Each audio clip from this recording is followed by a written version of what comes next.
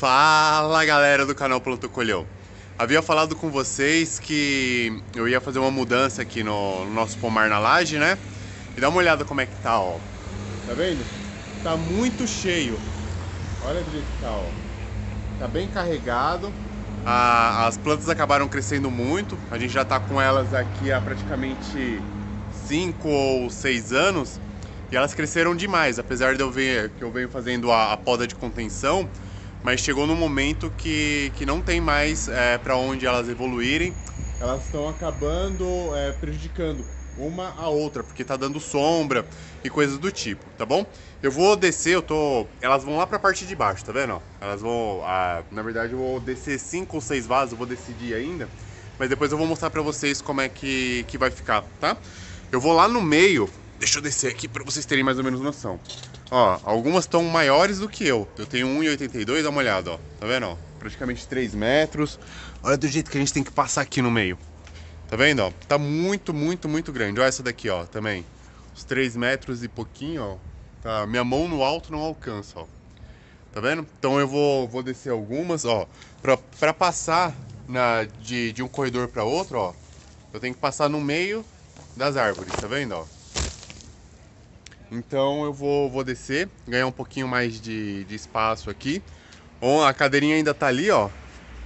De ontem que eu fiz o vídeo da uva, ficou bem bacana. Se você não assistiu ainda, nós temos três vídeos, né? Eu chamo a saga da, da uva aí. Tem três vídeos, dá uma assistida lá. E eu vou mostrar pra vocês a, como é que eu tô fazendo a mudança, o jeito que eu transporto a, os nossos vasos, tá bom? Vamos lá! Pessoal, então eu já coloquei o vaso no carrinho. Vou mostrar qual é o carrinho que a gente que a gente faz o transporte. Para colocar é tranquilo, tá?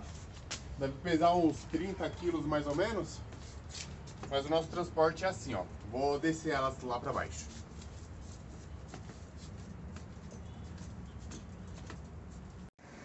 Fala galera, voltei ó. Então eu desci cinco vasos lá para baixo. Dá uma olhada como ficou bem mais livre agora para andar aqui, ó. Tá vendo? Eu vou remanejar os vasos agora. Olha como tá bem, bem mais livre. Olha como tá pra lá, ó. Olha como ficou. Tá vendo? Ah, eu vou fazer um... Deixa eu virar devagar aqui, porque é horrível virar a câmera rápida, né? Vou fazer um take... Olha o tamanho das acerolas. Só pra, pra não perder a mania, né? De mostrar as nossas frutíferas aqui. É... Eu vou falar pra vocês o porquê. Dá uma olhada, ó do take quando eu comecei a fazer o vídeo, eu fiz daqui de cima pra vocês. Tá vendo, ó? Olha como já abriu bastante espaço aqui. Agora eu vou dar uma remanejada nelas. Ó onde tá os vasos lá embaixo. Deixa eu pegar aqui, peraí. Ó, onde tá os vasos lá embaixo. Tá vendo? Ó, então eu, eu desci cinco vasos, tá? E aí, é, qual foi o meu critério de escolha para descer esse, esses vasos? Foi a questão da altura, tá?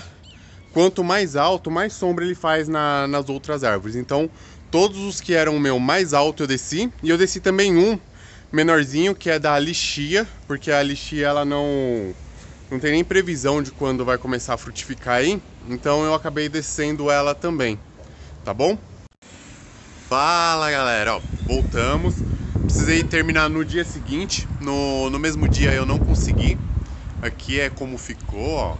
Tá vendo? Eu vou descer para ficar mais fácil para vocês entenderem como é que ficou. Olha como deu uma boa abertura aqui, olha que bacana. Antes para passar aqui eu tinha que agachar, tá vendo? Agora eu consigo transitar no meio de uma árvore entre outra. Olha como ficou bacana, deixa eu erguer aqui, ó. Aí aproveitei dei uma lavadinha no chão também, coloquei um limpa-pedra. Olha como ficou bem, bem melhor. Tá vendo? Deixa eu fazer uma pergunta para vocês. Quem aí de vocês é viciado também em ter frutíferas em vaso? Quem que tem mais de cinco?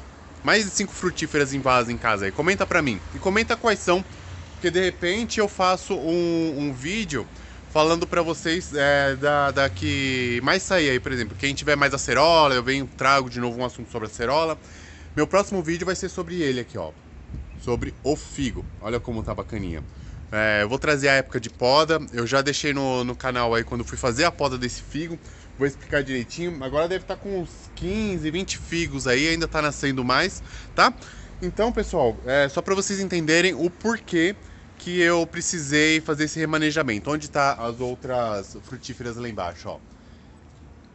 Depois eu vou vir com um vídeo é, para vocês explicando, explicando não, mostrando a parte de baixo lá. Eu vou fazer igual aqui, mas eu não tenho mais condições de ter mais frutíferas, tá? Gostaria de ter mais umas 4, 5 aqui, mas hoje eu tô com 28 pés de, de frutíferas diferentes, tá? É, então, qual foi o meu critério? Eu tinha frutíferas aqui que elas estavam aproximadamente com 3 metros de altura, até mostrei no, no comecinho do, desse vídeo aqui para vocês, estava mais ou menos com uns 3 metros de altura, então ela acabava fazendo sombra nas minhas outras frutíferas. E todo mundo sabe que é, as frutíferas elas precisam tá, de, de muito sol, praticamente sol pleno aí. Então quando ela tem sombra, é, ela acaba não frutificando a quantidade que normalmente frutifica. Então eu precisei fazer essa, essa mudança, tá? Então todos os meus pés que tinham aproximadamente 2 metros e meio, 3 metros, eu desci. Então eu desci cinco vasos no, no total, tá bom? Agora vai melhorar bastante, é, eu vou trazendo aqui para vocês a evolução da, das nossas frutíferas, tá bom? Então não esquece, curta, compartilha. É, para vocês não custam absolutamente. Só dá, dá, um, dá um likezinho aí, aperta aí agora. Né? Não, não deixa nem o vídeo acabar. Apertou? Apertou mesmo? Depois eu consigo conferir lá, hein? Dá, deixa o likezinho. Se possível, se inscreva no canal. Vem trazendo diversas, diversas é, dicas aqui. É, se vocês acompanharem dois, três vídeos aí, meus aí, vocês vão ver que estão sempre frutificando com flores, ó. Aqui é a minha romã, Vamos lá, eu vou descer, não, não queria estar tá mostrando agora não, mas ó, aqui é a seriguela, depois eu vou trazer porque que eu, que eu cobri aqui, ó. Dá uma olhada como é que tá a seriguela, tá cheio de seriguela. A, a minha jabuticaba tá dando também. Ó, aqui o araçá, dá uma olhada no araçá. Aonde você olha, tem araçá, ó. Olha que bacaninha. Tá vendo, ó? Vou ver se eu consigo dar um zoom, ó. Vou deixar de pertinho aí pra vocês. Olha quanto araçá que tem. Tá vendo? Então, praticamente meu pomar é o ano inteiro frutificando, então eu venho com várias dicas, venho é, é, com vários insights aí para vocês do que deve ser feito. Ó o pezinho de acerola aqui também, ó. Tá vendo? Ó, acerola tem bastante. A acerola, ela pegou uma praga, quem acompanha os nossos vídeos sabe. É, tive um trabalho lascado para retomar a acerola, achei que eu ia perder ela, mas deu tudo certinho, tá bom? Então, pessoal, curta, inscreva, compartilha e na próxima semana eu vou trazer a dica sobre o figo aí, tá? Demais, tá bom? Até mais, tchau, tchau!